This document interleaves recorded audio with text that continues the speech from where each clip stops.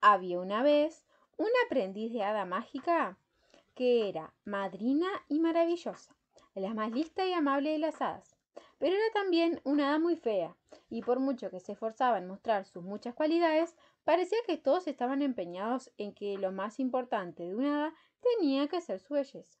En la escuela de hadas no le hacían caso, y cada vez que volaba una misión para ayudar a un niño o cualquier otra persona en apuros, antes de poder abrir la boca, ya le estaban chillando gritando Fea, bicho, lárgate de aquí.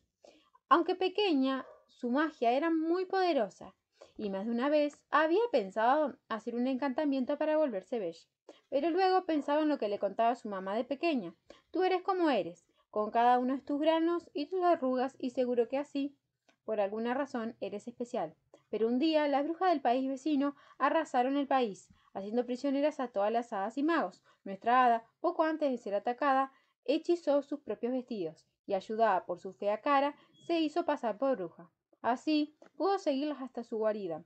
Una vez allí, con su magia preparó una gran fiesta para todas, adornando la cueva con murciélagos, sapos y arañas, y música de lobos aullando. Durante la fiesta, corrió a liberar a todas las hadas y magos, que, con un gran hechizo, consiguieron encerrar a todas las brujas en la montaña durante los siguientes 100 años. Y durante esos 100 años y muchos más, todos recordaron la valentía y la inteligencia de la hada fea. Nunca más se volvió a considerar en aquel país la fealdad una desgracia, y cada vez que nacía alguien feo, todos se llenaban de alegría sabiendo que tendría grandes cosas por hacer.